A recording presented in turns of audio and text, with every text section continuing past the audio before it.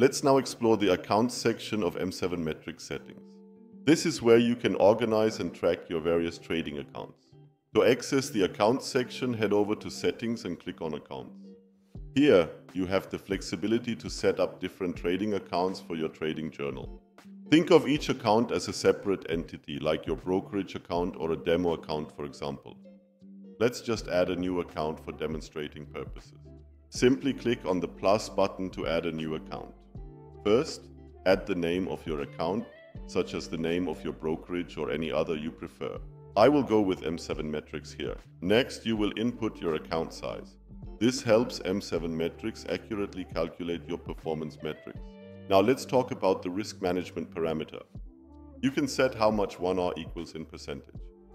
For example, if you risk 0.5% of your equity per trade, simply input 0.5. If you risk 2% of your equity per trade, then input 2. You can also customize the appearance of your account by selecting a different color and font color as well.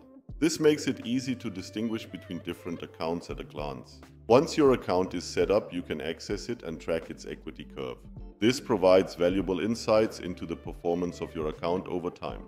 Keep in mind, if you haven't journaled any trades linked to that account yet, the equity curve won't show any statistics. But don't worry, we will have an equity curve to look at as we move on with the videos. And there you have it.